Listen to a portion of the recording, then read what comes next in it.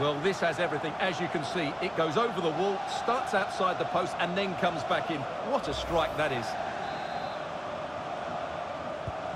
So 2-0 now.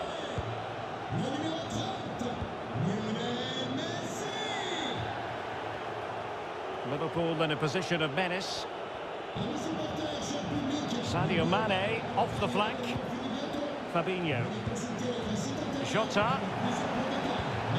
Geometric precision from Thiago. Well, the cross came over and a real need to get rid of the ball here. And problem solved for now.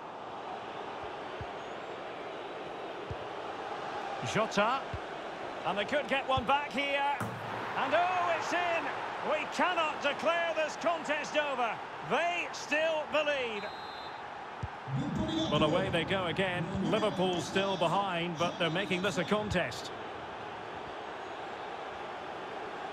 This attack looks highly promising. Lionel Messi. He takes aim.